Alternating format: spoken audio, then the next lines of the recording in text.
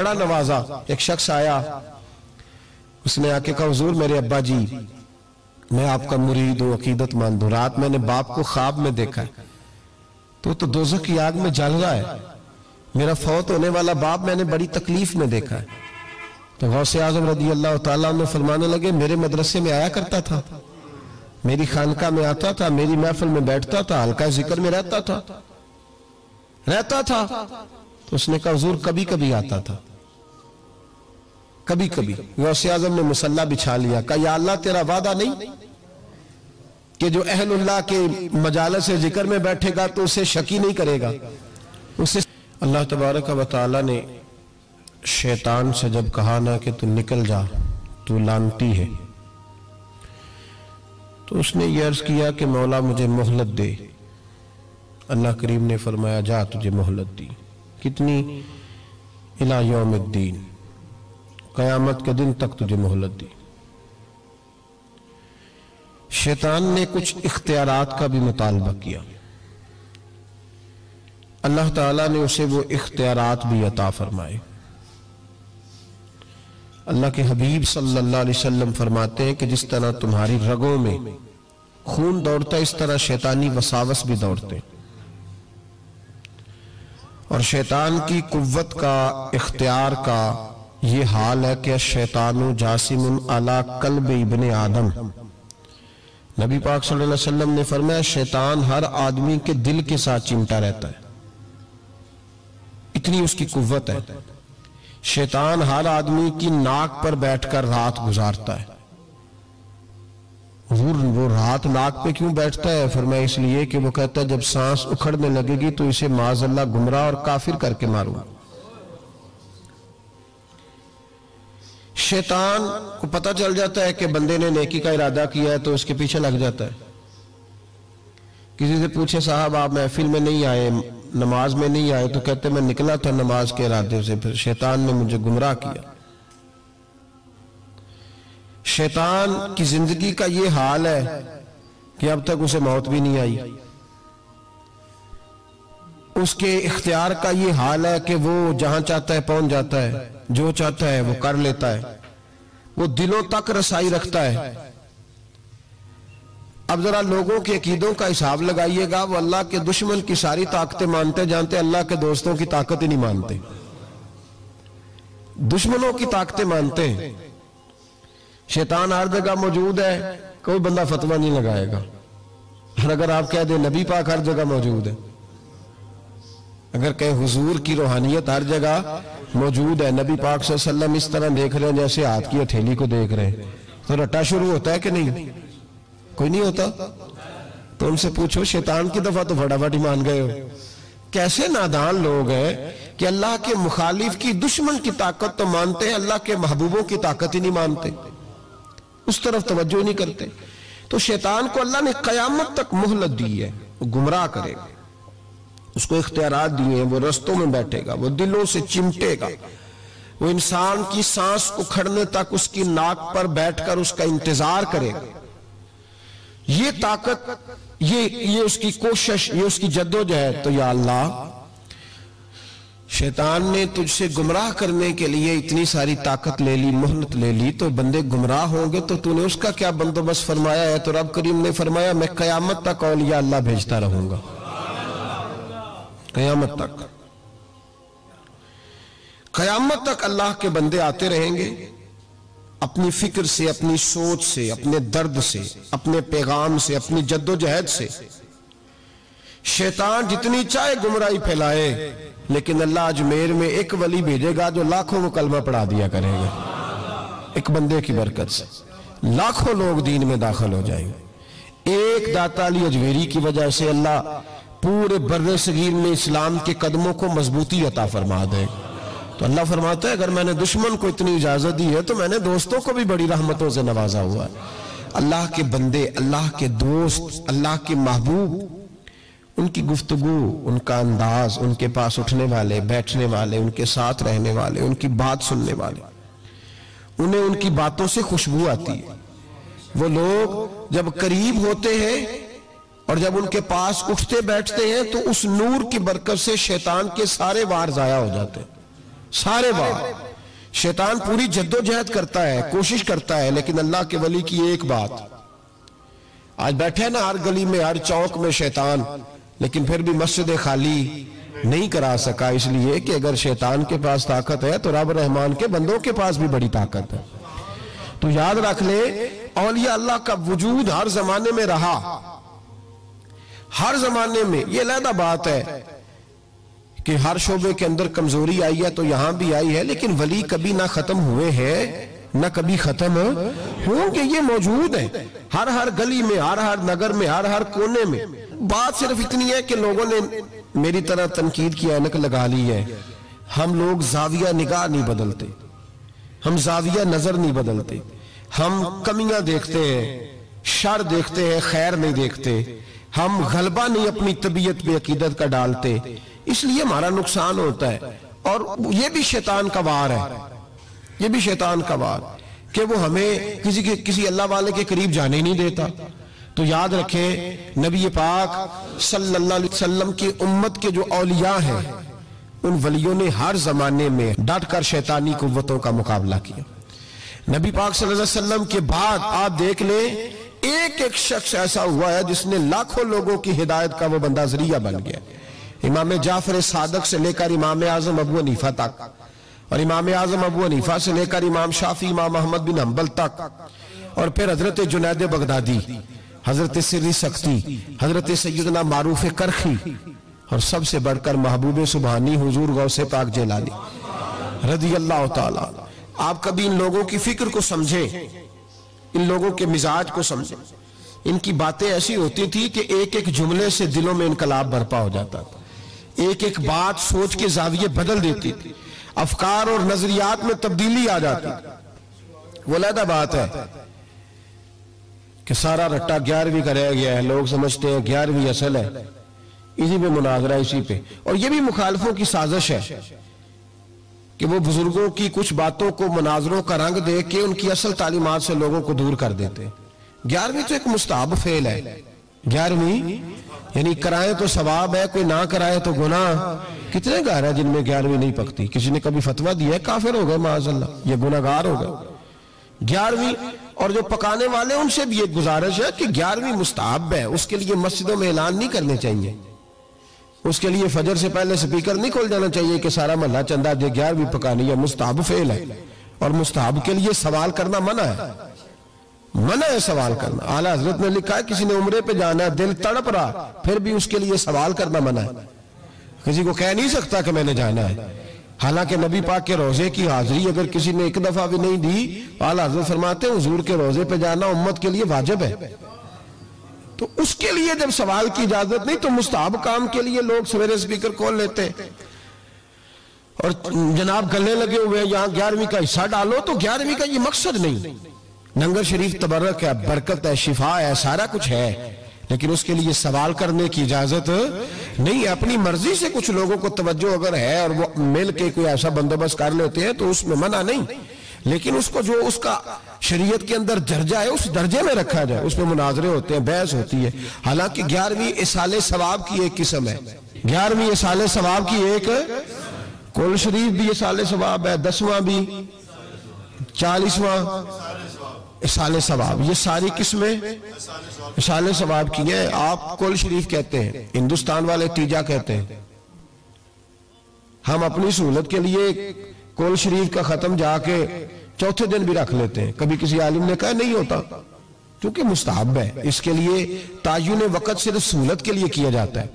तो ग्यारहवीं के साल सवाब है। बहुत सारे लोग ग्यारह रबी सानी को करते हैं, बहुत सारे बारह को करते हैं, चौदह को करते हैं। और हमें माहफल में जाने का मौका मिलता रहता है, सारा साल ही ग्यारहवीं पकती रहती है। लोगों ने अपनी सहूलत के लिए वक्त रखा हुआ है, किसी ने सतारह तारीख रख ली है, किसी ने अठारह रख ली है। तो गौसी आदम रदी अल्लाह तु की जो असल चीज़ है, वो उनकी करामत है। फिर हमारे यहाँ एक और बहस चलती है कि अल्लाह के वली कुछ दे सकते हैं कि नहीं दे सकते? अल्लाह के वली कुछ दे सकते हैं कि मैंने पहले कहा शैतान दे सकता है, गुमराही फैलाता है। कभी किसी बंदे ने फतवा नहीं लगाया कि मौलाना ये आप क्या कह रहे हैं? हालाँकि किसी बंदे से भी पूछो ना वो काम सारे खुद कर रहा होता है डाल शैतान पे रहा होता है। वो फारग हो जाता है कहता है उसने मुझे करने नहीं दिया। वो खुदा के बंदे तू कदम तो बढ़ा। तू रब रहमान का बंदा है और अल्लाह के बंदे शैतान से ताकतवर होते हैं। तू तो आगे बढ़ना तू उस, उस पे खाते में डाल के चुप कर गया। अल्लाह के वली बड़ा कुछ देते हैं। और जो जो अल्लाह का वली सुनो जुमला याद रखो जो रब करीम का बंदा दिल में रसूलुल्लाह की मोहब्बत डाल दे। इससे ज़्यादा भी कोई नायाब चीज़ हो सकती है। जिसने तेरे दिल में मुस्तफ़ा का प्यार ही डाल दिया है। तो अभी तक कह रहा है, मिलता है कि नहीं मिलता? तुझे मांगने का तरीका नहीं आता, वरना वहाँ से तो सारा कुछ ही मिलता है। उसकी वजह क्या है? करामत है क्या? अल्लाह का वली किस तरह देता है? अल्लाह का वली अल्लाह से लेके देता है। और बात सिर्फ़ इतनी है कि उसे अल्लाह को मनवाना आता है। अल्लाह के वलियों को अल्लाह को ये नबी पा क्या करेंगे? ये शफात क्या है? हुजूर के आमद के दिन क्या करेंगे? अल्लाह को मनाएँगे। हुजूर फरमाते हैं, मैं अल्लाह को शफात का मफहूम क्या है? हुजूर सैयद आलम वसल्लम फरमाते हैं, जब अल्लाह कुर्सी अदालत पे बैठेगा, जो उसकी शान के लायक है। अगरचे वो बैठने से पाक है। जब वो फैसले करेगा तो फरमाते मैं सर सजदे में रखूँगा। मैं रोऊँगा। मैं अल्लाह को मनाऊँगा। मैं जब रोऊँगा तो मेरा रब कहेगा, महबूब सर उठा तो जैसे कहेगा वैसे ही हो जाएगा. तो बात यह है कि अल्लाह के बंदों को अल्लाह को मनाना, हजूर गौ से पाक के पास बीबी आ गई। उसने कहा, हजूर बे औलाद हो। मेरे मोहल्ले में ऐसी औरतें भी हैं जिन्हें अल्लाह ने चौदह चौदह बच्चे दिए। मैं बे औलाद हूँ। औलाद बड़ा मीठा फल है। तो मेरे आँगन में अगर एक फूल खिल जाए तो मेरे घर में भी खुशबू फैलेगी। मेरे घर में भी कोई बच्चा रोएगा तो मेरा घर भी रौनक वाला हो जाएगा। तो हजूर मेरी सास अब कहती है, रखना नहीं। इसे तलाक दे देनी है। मेरा खामद, मुझे कहता मैं मजबूर हूँ। मैंने बड़ा अरसा तुझे निभाया है। तो हजूर, मैं गरीब हूँ। मेरे पे नज़र करम हो जाए। मेरे लिए दुआ करे। मेरा मालिक मुझे एक बेटा दे दे। यूँ हाथ उठाएगा उसे आज़म ने कहे, अल्लाह, तेरी बंदी तेरा बंदा समझ के आई है। क्या लफ्जों का हुसन है? क्या जुमलों की तासीर है? ए अल्लाह, तेरी बंदी, तेरा बंदा समझ के आई है तो मेहरबानी करना। जो तूने इसके दिल में डाला है, वो इसे अता भी फरमा दे। लफ्जों का, जुमलों की तरतीब देखे। जो तूने इसके दिल में डाला है, इसे अता भी कर दे। तो हातिफ गैब से निदाई अब्दुल कादर इसके नसीबे में ही नहीं, मुकद्दर में नहीं। मैंने कहा, इन्हें मनवाना आता। जब कहा ना नहीं तो गौसे पाक रो पड़े। कहने लगे, मैं समझ गया हूँ। तू मुझे रुसवा करना चाहता है। तू मुझे रुसवा कर दे। तू रुसवा करना। तुझे नहीं पता था अब्दुल कादर के पास जा रही है? तू मालिक है, तू इसके इरादे से आगाह नहीं था? मौला, तू बेनियाज है, तुझे पता था मेरे पास आ रही है? ठीक है। ये कहेगी लोगों से जाके कि मैं अब्दुल कादर के दरवाजे तक हो आई हूँ, मुझे तो कुछ नहीं मिला। तो ठीक है मौला, मैं तेरी रजा पे राज़ी, तेरी कजा पे शाकर ठीक है, ना दे, मैं राज़ी हूँ, तू मुझे रुसवा करना चाहता है। बस, अभी दुआ हो ही रही थी कि हातिफ गैब से निदाई अब्दुल कादर, तू बोल कितने बेटे दू? बोल ना कितने बेटे दू? खुदा के फजल से हम पर है साया गौ से आज़म का। हमें दोनों जहाँ में है सहारा गौ से आज़म का। का तू बोल कितने दू? तो का या अल्लाह, चल, एक मांगने आई थी, मेहरबानी कर सात अता कर दे। सात एक बेटा लेने आई थी, रब करीम ने उसे सात बेटे अता फरमाए। वो भाई, तुझे मनवाना ही नहीं आता, तू इस रस्ते का मुसाफर ही नहीं। तू इस रस्ते का मुसाफर ही नहीं, तुझे मनवाना ही नहीं आता। हमारे बुज़ुर्ग गुजरे हाजी साहब रहमत तो मदरसा उनका छोटा था, कहते थे, मुझसे नहीं चंदे मांगे जाते। मेरा छोटा ही ठीक है। छोटा इदारा था तो लोग बच्चा दाखिल कराने आते तो सब बच्चा दाखिल कर ले। कहते गुंजाइश नहीं, जितने कमरे थे बच्चे दाखिल हो गए। जो सियाने बंदे थे उन्हें पता था। कहते ठीक है, आप ना दाखिल करें, हम बद मजमू के मदरसे में दाखिल करा देते। हम बद मजमू बस ठीक है अब ना करें, हमारे पास है वहाँ एक मदरसा, पीटने वालों का, वहाँ दाखिल करा देते हैं। तो साहब कहते हैं और यार, कड्डो कोई गुंजाइश हो इसको रखो किसी जगह पे। कोई कोई कमरा देखो, मेरे वाले कमरे से उठा लो। लोगों को उन्हें मनवाना आता था। जिनको पता था किस बात पे मानेंगे, उन्हें मनवाना आता था। मैंने बरेली शरीफ में ये रंग देखा है। जब किसी बात पे बरेली के बुज़ुर्ग परेशान होते और कोई आजमाइश आती है तो जो जानने वाले लोग हैं, वो कहते हैं, चलो, हजूर की को नात छेड़ दो। जब नाते पाक छिड़ जाती है तो चेहरे खिलने शुरू हो जाते हैं। वहाँ तवानाइयाँ भूल जाते हैं लोग अपने सारे गाँव। जिन्हें मनवाना आता है। अल्लाह के वली का कमाल यह है कि उसे रब को मनाना आता है, वो मनवा लेता है। अल्लाह अपने फजल से, अल्लाह को मजबूर कोई नहीं कर सकता। अल्लाह अपने फजल से उसकी बात मानता है। कतब आला नफ से रहमा, अपने फजल से मानता है। तो हजूर गौ से पाक रदी अल्लाह तुमने लोगों को बड़ा नवाजा बड़ा नवाजा। एक शख्स आया, उसने आके कहा, हजूर, मेरे अब्बा जी, मैं आपका मुरीद हूँ अकीदत मंद हूँ। रात मैंने बाप को ख्वाब में देखा है। तो तो दोजख की आग में जल रहा है। मेरा फौत होने वाला बाप मैंने बड़ी तकलीफ़ में देखा है। तो गौसे आज़म रदी अल्लाह तुम फरमाने लगे, मेरे मदरसे में आया करता था। मेरी खानका में आता था, मेरी महफिल में बैठता था, हल्का ज़िक्र में रहता था। रहता था। तो उसने कहा, हजूर कभी कभी आता था। कभी कभी गौसे आज़म ने मुसल्ला बिछा लिया। कहा अल्लाह, तेरा वादा नहीं कि जो अहलुल्लाह के मजाल से ज़िक्र में बैठेगा तो उसे शकी नहीं करेगा। उसे सही और ये मुस्लिम शरीफ की हदीस है। अब मसला ये बन गया, पहले सुन्नी दलील नहीं माँगता था। कहता, ठीक है। अब सुन्नी भी कहता हो नहीं, ये आप क्या कह रहे हैं? यहाँ हमारे अंदर भी कमी है। ना ना, अल्लाह के वली के मुँह से जो निकलता है, वो रब की रिजा वाला जुमला होता है। मेरी अब तबीयत नहीं मानती, मैं मैं मैं बहक होने लगा हूँ। मेरा नहीं तबीयत मानती कि अपने लोगों को दलीलें दी जाए। हम हम तो मानने वाले लोग हैं। हमारे लिए तो बुज़ुर्गों का इशारा बहुत काफ़ी होना चाहिए। मौलाना अमजद अली आजमी साहब आला हज़रत के खलीफा हैं, वो कहते हैं दिन मैंने तकरीर की। तकरीर के बाद एक शख्स ने मुझसे हवाला पूछा तो मैं सारी रात रोता रहा। मैंने कहा, यार लाइए, तेरे बंदे क्या समझते हैं? कि हम झूठ बोलेंगे इनसे? ये मैं बात बयान कर रहा हूँ, मिंबर पे बैठ के वो गलत हो सकती है।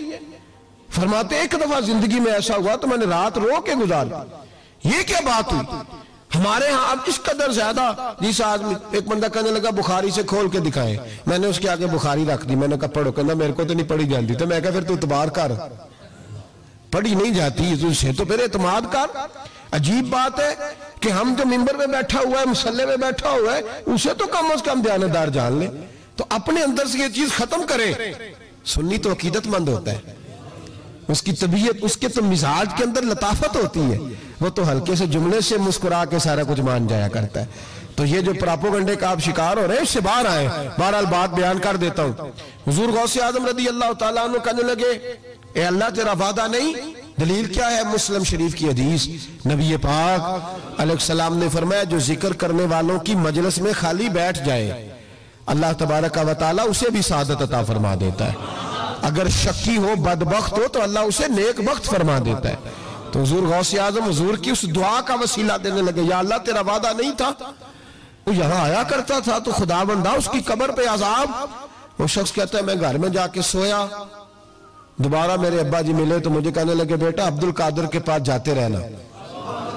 अब्दुल कादर के पास जाते रहना। जो उनकी मजालस पे जाता है, अल्लाह उससे बड़ा ही राज़ी होता है।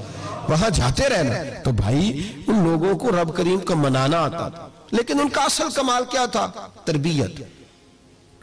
उनका असल शोभा क्या है? सारे बोले। असल शोभा तरबियत। अब बिना अगर हमारा मिजाज तरबियत का बन जाए ना, नबी करीम सल्लल्लाहु अलैहि वसल्लम ने फरमाया कि हिकमत मोमिन की गुमशुदा मिरास है। इसे ढूंढा करो। कहीं से ना कोई चीज़ शेख शाहबुद्दीन सुरवर्दी कहते थे, मैंने अपना प्याला सारी ज़िंदगी यूँ रखा है। किसी अल्लाह वाले के पास गया हूँ तो इस तरह प्याला खुला रखा है।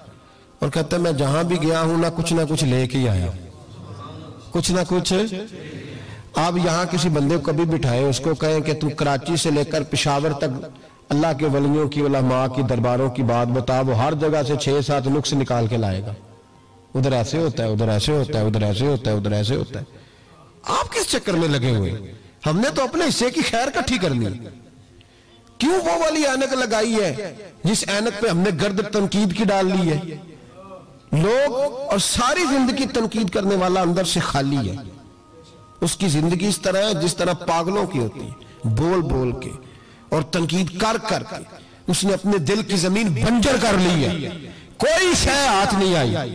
क्योंकि वो सारी ज़िंदगी समझा ही नहीं। जो खैर वाले लोग थे, शेख शाहबुद्दीन कहते हैं, प्याला दिल का सीधा करके गया हूँ, जहाँ गया हूँ। और जहाँ भी गया हूँ, वहाँ से कुछ लेके ही आया हूँ। क्या करके आया हूँ? कुछ ना कुछ? बोलिए बोलिए, कुछ ना कुछ? मैं लेके आया हूँ। यहाँ हर बंदा एतराज़ कर रहा है। हर बंदा कुछ नहीं जी, खैर, कोई शय नहीं। खुदा के बंदे, ये जो तुम्हें अजाने, जमातें, इबादतें, रियाजतें, दरूद, सलाम, जायके, ये जो कुछ नज़र आ रहा है तो इसका मतलब है अल्लाह के बंदे मौजूद है। उनकी बरकत से नज़र आ रहा है ना सारा कुछ। तो औलिया अल्लाह के पास लोग खैर लेने जाते थे। उनकी ज़िंदगी के मकासद तरबियत थी। ख्याल था। गौसे आज़म के जमाने में एक गवैया था। आज तो लोग बुज़ुर्गों के नाम पे साज रंग की महफिल से जाते हैं ना। गवैया था गौसे आज़म के जमाने में। गाने गाता था तो गौसे आज़म उसे समझाते थे कि ये तरीका दुरुस्त नहीं। और हमारे जमाने में जिसकी हाँ में हाँ मिलाओ वो राज़ी रहता है।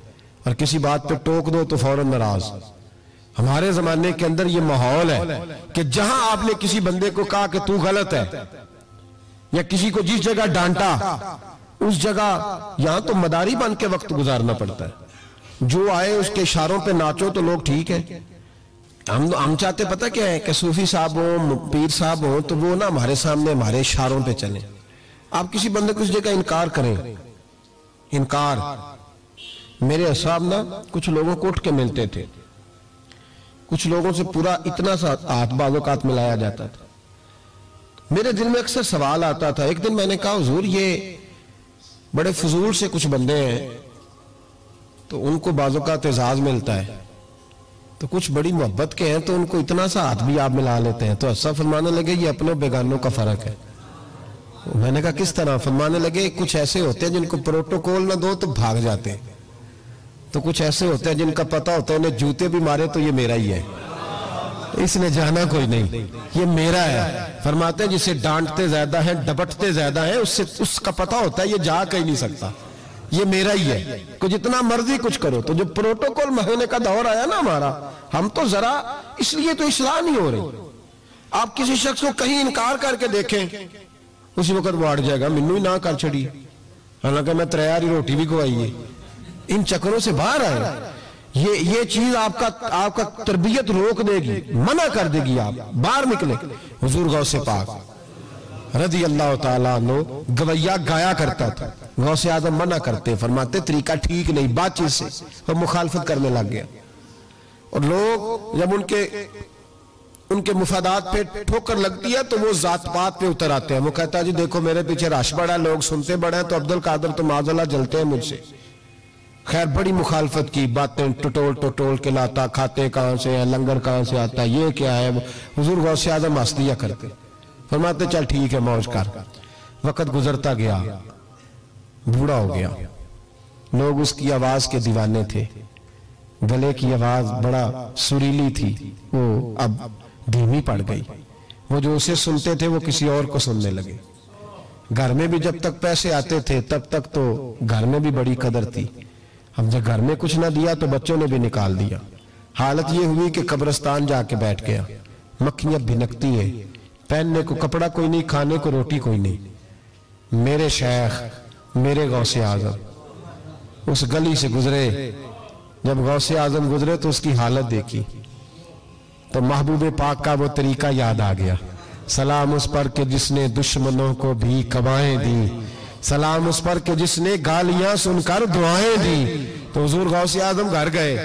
गुलाम को बुलाया, फरमाया, सौ दिनार ले जा।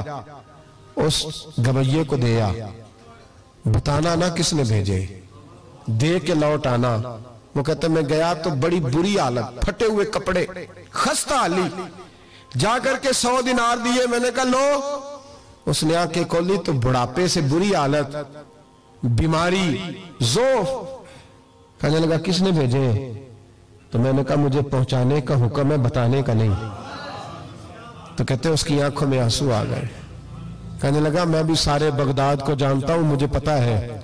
इस हालत पे अगर मुझ पे कोई कर्म कर सकता है तो वो अब्दुल कादर जिलानी है। मुझे भी पता है, मैं भी जानता हूँ। इस हाल में गिरे हुए को थामना अगर किसी का तरीका है तो वो गौसे आज़म का ही है। वही मुझ पे कर्म कर सकते हैं। कहते मैं, खादम कहते मैं दे के आया तो वो मेरे पीछे पीछे चलने लगा। हजूर गौसे आज़म पढ़ा रहे थे तो सामने आके खड़ा हो गया। नज़र उठाई आपने, फरमाया, मैं क्या खिदमत कर सकता हूँ? चीख मारी उसने। रोया, कदमों में गिरा। लगा अब्दुल कादर, तू मेरे नबी का सच्चा वारस है। तू सच्चा वारस है नबी पाक सल्लल्लाहु अलैहि वसल्लम का। मैं सारी ज़िंदगी मुखालफत करता रहा, और जब मेरा कोई ना बना तो तू मेरा बन गया अब मुझे बता कि इस बुढ़ापे में तौबा करूँ तो अल्लाह कबूल कर लेगा? तो गौसे आज़म फरमाने लगे, तू सच्चे दिल से तौबा कर। अल्लाह तेरी तौबा भी कबूल फरमाएगा और तुझे अपने नेक बंदे में शामिल भी फरमाएगा। शर्त यह है कि सच्चे दिल से कर। इखलाक के लिए आए, किरदार के लिए आए, तरबियत के लिए आए। उन लोगों ने अपने अमल से ढेरों लोगों की जिंदगियाँ बदली। गौसे आज़म मजदूरों की तरह दीन का काम करते थे। मैंने बड़ा सोच समझ के फ़िक्र कहा मजदूरों की तरह। मैंने अपने गाँव में कुछ ऐसे मजदूर देखे जो सुबह फैक्ट्री में दिहाड़ी करके आते थे। तो शाम को दिहाड़ी करके आए हैं पूरी, चार बजे तक, पाँच बजे तक। तो शाम को किसी आदमी ने मिट्टी डालनी है अपने घर के अंदर तो उससे भी ठेका कर लिया। उसने कहा, मैं तीन सौ रुपया दूँगा, मिट्टी उठा लो। तो वो मजदूर घर आया तो उसने कहा, चलो बच्चों के कपड़े भी लेने ईद भी करीब आ रही है। ये मजदूर लोग बड़ी जद्दोजहद करते हैं। तो रात को मिट्टी डाल दी। हजूर गौसी आदम ने मजदूरों की तरह दीन का काम, यहाँ तो मौजे लगी है। तो मौजे लगी हुई है लोगों की। यहाँ तो लोग साध रंग में मस्त हो गए, कहते हैं बा ठीक हो गया जी। हम बड़े पके उनके मानने वाले। गौसे आदम फजर के बाद फिका का दर्श देते थे। फिका का, उन कह दे भी मौलवी सन चूँकि दर्ज जो देते थे। फिका का दर्श फजर के बाद, जोहर के बाद गौसे आदम लोगों को अदीस पाक पढ़ाया करते थे। असर के बाद कुरान पाक की तफसीर बयान करते थे। हर रोज रात को इशा के बाद दूर दराज से मखलूक आती थी। लाखों का मजमा होता था।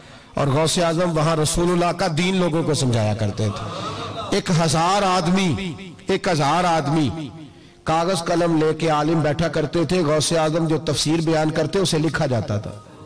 ये हजूर गौसे आज़म का तरीका है। गौसे आज़म बगदाद की जामा मस्जिद के खतीब थे। वो खतीब थे मस्जिद के। जामिया निजामिया के नाम से गौसे आज़म ने मदरसा बनाया हुआ था। वो एक इदारे के प्रिंसिपल थे, जिसे अलग बात सीधी पढ़नी ना आए। वो कहे, मैं बड़ा वली हूँ, मुझे गौस पाक का फैज है। तुझे किस तरह का फैज है? गौसे आज़म का फैज ये आप फरमाया करते, जितनी जिसकी ज़ुबान में तासीर ज़्यादा हो, समझो मेरा फैज उसे ज़्यादा मिला हुआ है। आप तकरीर करते थे, खुतबा देते थे, रोज रात को बैठते थे। यहाँ पीर साहब के पास इलमे लदुन्नी है।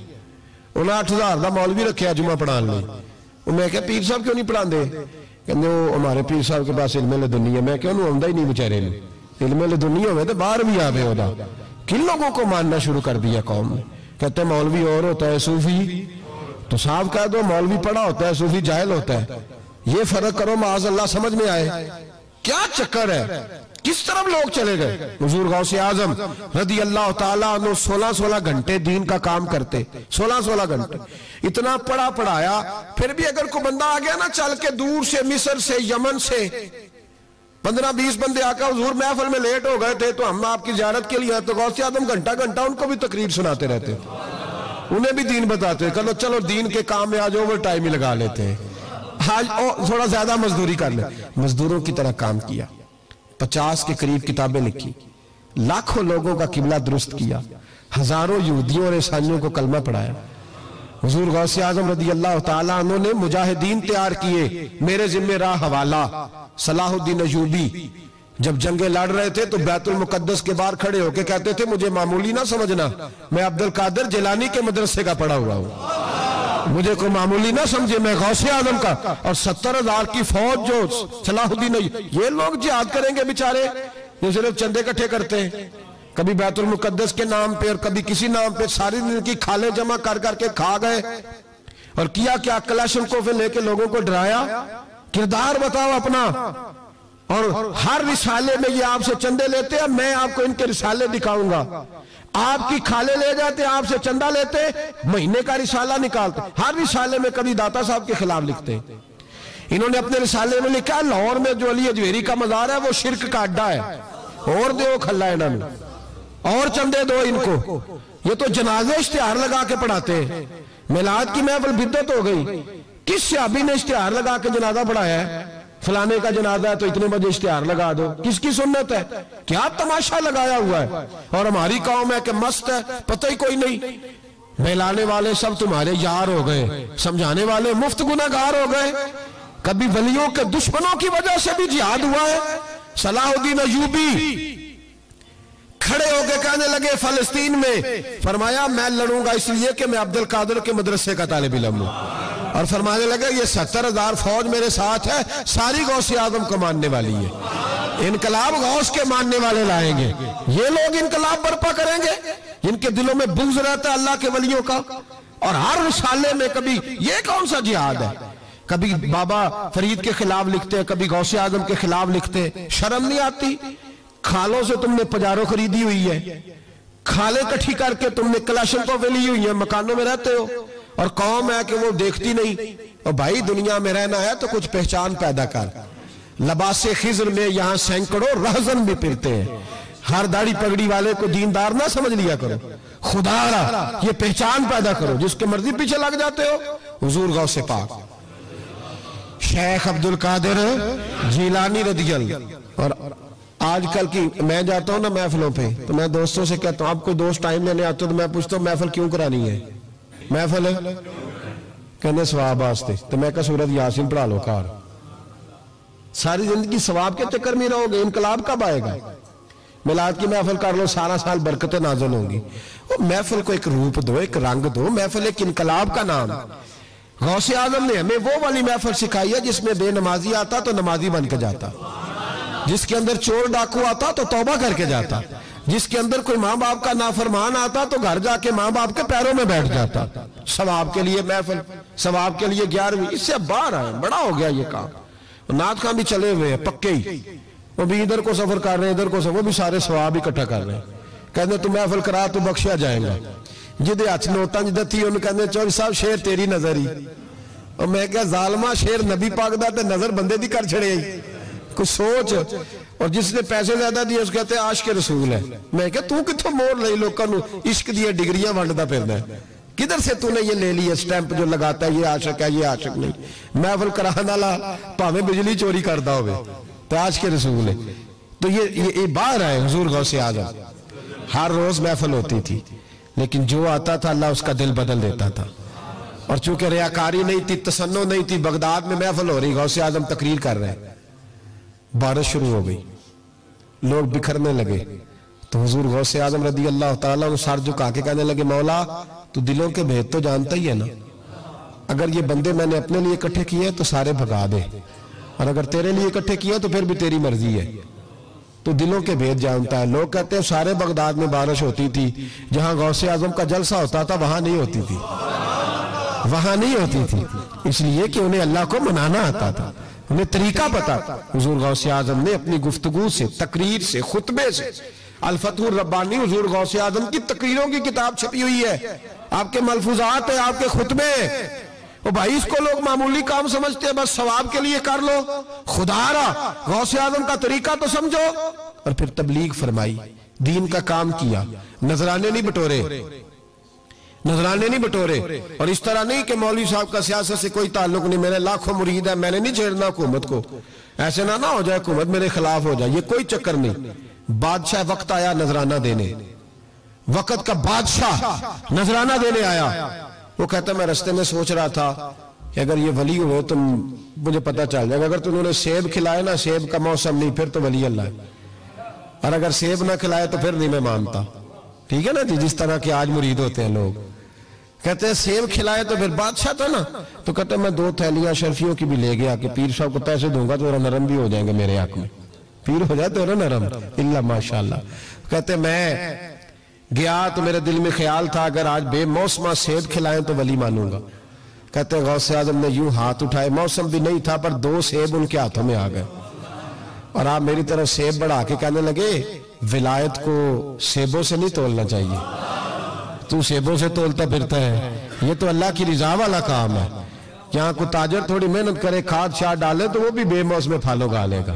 तू किस चीज़ से मेरी विलायत चेक कर रहा है? ये पकड़ छुरी और ये पकड़ सेब और खा। कहता, मैंने काट के खाया तो सेब कड़वा निकला। गौसे आज़म कहने लगे, क्या हुआ, कड़वा है? कहा, हजूर हाँ। तो ने अपने हाथ से काट के एक टुकड़ा दिया का खाओ। खा के कहने लगा, हजूर, आपके वाला तो मीठा है। तो सेब तो दोनों गैब से आए हैं तो मेरा कड़वा क्यों है? आपका फरमाने लगे गौ से आदम दोनों मीठे थे। एक को जालम के हाथ लग गया तो कड़वा हो गया है। मीठे दोनों ही थे तू जालम है ना जुल्म करता है तो तेरे हाथों की वजह से कड़वा हो गया। एक ही थे। उसने दो थैलियाँ शर्फियों की मुसल्ले के नीचे रखी। कहने लगा हजूर नजराना है। फरमाने लगे ज़रूरत ही नहीं। ले जा। अल्लाह के बंदों को दुनियादारों के नजरानों की ज़रूरत है। और जिद करने लगा, हजूर कबूल कर ले। आप फरमाने लगे, जा तू। जा, नहीं चाहिए। का हजूर, ज़रूरत नहीं। हजूर कबूल फरमा ले, आपने फरमाया, जा। का हजूर, ले ले आपकी मेहरबानी। फरमाने लगे, अपने कपड़े देख और मेरे देख। अपनी रोटी देख और मेरी देख। मैं तुझसे अच्छा खाता हूँ, तुझसे अच्छा पहनता हूँ। मेरा अल्लाह मुझे मुझे तुझसे बेहतर देता है। तो जा तू। उसने कहा, नहीं, कबूल कर ले। गौसे आदम ने दोनों थैलियाँ शर्फियों की पकड़ी और जब उनको निचोड़ा तो अंदर से खून निकलने लगा। गौसे आज़म फरमाने लगे, गरीबों का खून निचोड़ के मुझे नजराना देने आ गया है। गरीबों का खून निचोड़ के पीर साहब ने कभी पूछा नहीं, फैक्ट्री वाले से कि तुम मजदूरों के साथ क्या इलाज करता है? पीर साहब ने कभी सवाल नहीं किया कि ये जो लेके आ रहा है, कहाँ से लेके आ रहा है? गौसे आदम रदी अल्लाह तला फरमाने लगे, मैं तेरे पर्दे नहीं खोलना चाहता था। तू बाज ही नहीं आ रहा। गरीबों का लहू निचोड़ के तो मुझे नजराना देने आ गए हो। फरमा निकल जा। वरना ये खून इतना बहाऊँगा कि तू भी बह जाएगा, तेरा महल भी बह जाएगा। लोगों का खून निचोड़ के मुझे नज़र न्याज देने आ गए हो। हजूर आज़म, जवा फ़िक्र, जवा सोच, इनकलाब मिजाज सूफी थे जुम्मे का खुतबा देने आए। तो एक शख्स ने कहा, हजूर, एक जालम आदमी का गवर्नर बना दिया बादशाह ने बगदाद का। कहना चाहिए था ना, मेरी मस्जिद में बड़ा राश है, मुझे क्या लगे? मेरे मदरसे में तालब इलम ठीक है, लंगर सही पक रहा है। ठीक है, बनाता तो बनाता, फिर लोगों पे जुल्म होगा ना। लेकिन ये तरीका, दीन का तरीका नहीं। लोग जुल्म का शिकार होते रहे, हुकूमतें मर्ज़ी करती रहे सूफी कहे, मेरा ना कोई मुखालफ हो जाए। आज हमारे जमाने में शौक है कि मुझे कोई बुरा ना कहे। वो भाई कह ले जिसने बुरा कहना है। कहे, ये कोई बुरी बात है? कुरान कहता है, अल्लाह के बंदों की अलामत ये है जुजाहिदू नफी सबी वो अल्लाह के रस्ते में जहाद करते हैं। वला यखाफून लाइम और कोई उन्हें बुरा कहे तो वो उसकी परवाह नहीं करते। वो जिहाद में लगे रहते कहे, जिसने कहना है, सानू तख्त अधारे की लोड़ की है। नाले की लगे शहर बबोल दे नाल। असि अपनी बाल के सेकने सानू की लगे किसी और दे नाल? कहे, जिसने कहना है, कोई परवाह नहीं। बात खरी और सच्ची होनी चाहिए। मौज करे जिसका जो दिल करता है। जिसका जो दिल करता है, मैं एक जगह मैंने बड़ी तगड़ी तकरीर की कि सियालकोट के करीब। बड़ी सख्त, दो चार पाँच नाथ खान थे, वो भी इश्क की डिग्रियाँ बांट रहे थे। और बड़े उन्होंने नोट इकट्ठे किए थे, ऊपर से मेरा नंबर लग गया। तो मैंने उन्हें कहा, वो एक बड़ा शोर कर रहा था, यूँ कर देंगे खत्म नबूवत के लिए, यूँ कर देंगे। तो दाढ़ी बिल्कुल ताजी सफ़ाई करा के आया था। हम आम से सीधा महफिल पे आ गया था। मैं क्या बोलिए तेरे को दाढ़ी का भार तो चुकया नहीं जाता ते सारे दीन का किमें चुकेगा? तो चुक ला वो तेरे को थोड़ा जहा भी नहीं चाया जा रहा। एक और था उसमें, मुझे कहने लगा, मैं तो नवी नाच सुनानी, मैं क्या तेरी मेहरबानी, मैनू को पुरानी सुनाई। नवे कलाम मेरे को नहीं हजम होंगे जेडे शुरू किए डम डम तो मसला खराब हो गया, एक पीर साहब भी बैठे थे। आप यकीन करें, नबी पाक की नात हो रही है और इशारा पीर की तरफ़ हो रहा है। इशारा पीर की, हुजूर की नात नबी पाक की नात हो रही। और इशारा, भाई जो शेर हजूर के नाम के वो किसी पीर पे फिट करना दुरुस्त है? वो भी मस्त तो हो, सौ सौ नोट कट कट के दे रहे हैं। मेरी गल हो रही। तो मैंने कहा शर्म करो, अल्लाह से डरो। और बाहर निकल रहे तो टायर पंक्चर था गाड़ी का। गाड़ी का टायर पंक्चर था। तो मैं एक बंदे ने क्या भी अभी तो पहुँचना है, उस दिन मुझे वापस वजीराबाद भी आना था। टायर पंक्चर हो गया। तो मैंने कहा, लगा किसी नाथ खाने के इलम आ रहा तो गड्डी में। ਤੁਸੀਂ ਛੱਡਦੇ ਨਹੀਂ ਨਾ ਕਿਸੇ ਦੀ ਗੱਲ ਤੇ ਉਹਨੇ ਦੂਜਾ ਵੀ ਕਰ ਛੱਡਣਾ ਸੀ ਉਹਦੀ ਮਿਹਰਬਾਨੀ ਸਮਝੋ ਨੇ ਇੱਕ ਕੀਤਾ ये हाल हो गया हमारा कि लोग अब पोजीशन इस तरह की किसी को समझाया वो मुखालफत करता है उन्होंने बाद में मीटिंग की बाद में मीटिंग की उन्होंने कहने लगे तू कितों मौलवी बुला लिया अगू नहीं आने बुलाई किस तरह का आदमी था सबको इस तरह और बड़ी बड़ी अजीब हरकतें मैं ये लोधरा मुल्तान साइड पे दो तीन दिन के लिए तो नकीबे महफल ਉਹ ਬੇਇੱਜ਼ਤੀ ਕਰੀ ਜਾ ਮਜਮੇ ਦੀ ਤੁਸੀਂ ਬੋਲਦੇ ਨਹੀਂ ਤੁਸੀਂ ਸੁਭਾਨ ਅੱਲਾ ਹੀ ਨਹੀਂ ਆਂਦੇ ਐਡਾ ਰੁੱਖਾ ਮਜਮਾ ਕਦੇ ਨਹੀਂ ਵੇਖਿਆ ਕਿੰਜ ਦੇ ਤੁਸੀਂ ਬੰਦੇ ਹੋ ਮੈਨੂੰ ਤੁਸੀਂ ਯਾਦ रहोगे बूढ़े बूढ़े लोग बैठे हैं ठंड का मौसम है करी जा रहे वो मेरे से ना बर्दाश्त हुआ कभी कभी वो राग बड़ी तंग करती है कुछ देर तो मैंने बर्दाश्त किया तो बाद में मैं बोल ही पड़ा मैं क्या भाई बह जा तेरी मेहरबानी तू पैसे लेके आए मुफ्त आए नहीं सारे ये चंगे नहीं तेरे नालों ये फ्री बैठे मुफ्त बैठे तू तो पैसे लेके मुझे इन्होंने बताया कि पंद्रह हजार तूने पहले लिए किस बात का लिया तो ये कोई, ये मज़हब का काम है। क्या चक्कर चलाया हुआ है? ये कोई तरीका है? ये इस तरह दीन फैलता है? गौस आज़म जेलानी। हुजूर शेख अब्दुल कादर जेलानी। ये लोग अगर बादशाहों की टीसी करते तो इनकलाब ना बढ़ पाता। हुजूर गौसी आज़म रदी और जो आ रहा है, चौधरी साहब आज के रसूल है। इसलिए कि पचास हज़ार दिया महफल में। तो बस पचास हज़ार का इश्क मिल जाता है?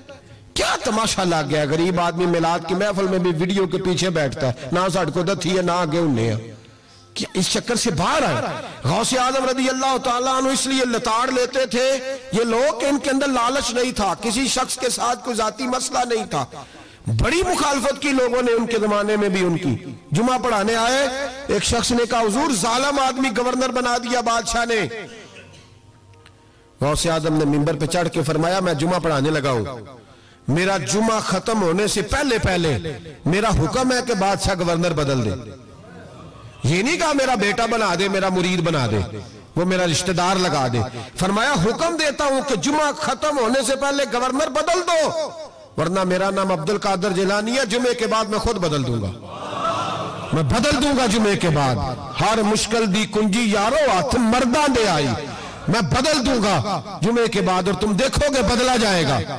लोग कहते हैं जुमे की नमाज़ पढ़ के निकले तो बादशाह दरवाजे पे खड़ा था। कहने लगा, हजूर, मेहरबानी करे, नाराज़ ना होना, बदल दिया गवर्नर। हमने गवर्नर, ये शान थी गौसे आज़म की, कि गौसे आज़म जो कह दे, रब वैसा कर दे। लेकिन आजजी क्या थी? शेख सादी फरमाते, एक बूढ़े को, किसी शख्स ने बैतुल्लाह के साथ पत्थर पे सर रख के रोते देखा। और वो बुज़ुर्ग बूढ़े कह रहे हैं, या अल्लाह, कयामत के दिन मुझे अंधा करके उठाना। अंधा करके, कहीं ऐसा ना हो तेरे नेक बंदों के सामने मैं शर्मिंदा हो जाऊँ। और मौला मुझसे दरगुजर वाला मामला करना, मुझसे सवाल ना करना, मैं कमज़ोर हूँ। रो रहे कहते, मैं करीब गया तो मैंने जाके देखा कि पता तो करूँ कौन गुनागार है, मैं भी उसके लिए दुआ करता हूँ। वो बुज़ुर्ग कहते हैं, जब उन बुज़ुर्गों ने चेहरा उठाया तो मेरी चीख ही निकल गई, ये तो गौसे आज़म जलानी है। एक तरफ़ हालाती सारी कर कर जारी नींद अखा थी धोंदे फजरे ओही गुनागार आवन सब तो नीवे होंगे जिन्होंने सैकड़ों साल हो गए जिनको गए और आज भी उनकी जलाई हुई शम्मा रोशन है जिन्होंने अपनी ज़िंदगी सारी दीन के काम में लगाई चालीस साल तक सारी रात अल्लाह की इबादत की किताबें लिखी दीन पढ़ाया लेकिन जब रब के साथ ताल्लुक हुआ तो कहा नहीं हम कमज़ोर हैं या अल्लाह माफ़ी दे दे भाइयों हमारे बुज़ुर्गों ने हमारी तरबियत की उन्होंने हमें समझाया। उन्होंने हमें कहा कि फैज फैज इस चीज़ का नाम नहीं कि तू कहे, बड़े मेरे बारे न्यारे हो गए, दुकान चमकने लगी। फैज तो यह है कि तेरा दिल दीन से कितना जुड़ा। है तेरे अंदर रूहानियत कितनी पैदा हुई। इखलाकी कदरें तेरी कितनी बहाल हुई। गौसे आज़म से किसी ने कहा तो हजूर, दुआ कबूल नहीं होती। फरमाया तीन शर्तें हैं। तेरी हर दुआ अल्लाह कबूल फरमाएगा हजूर, कौन सी? फरमाया रिस्क जब भी खाना, हलाल खाना। और तेरी ज़ुबान से कभी रब की नाराज़गी वाला फिक्रा ना निकले। और जब तू बात करे तो नफ्स के लिए कभी ना कर, अल्लाह की रिजा के लिए कर। अब्दुल कादर वादा करता है तो जो दुआ भी करेगा, मालिक तेरी कबूल फरमाएगा। अपने नफ्स की रजा के लिए, अपने बातन को खुश करने के लिए सारा दिन दास्ताने ना छेड़, अल्लाह की रजा के लिए बोल। हम कितना बोलते हैं? लेकिन नफसानी बातें, नफसानी ख्वाहिशें, ये कहने के लिए कि लोग नीचा देख लेंगे, क्या हो जाएगा? खुदारा अल्लाह की रजा के लिए जब बोलेंगे तो अल्लाह राज़ी होगा।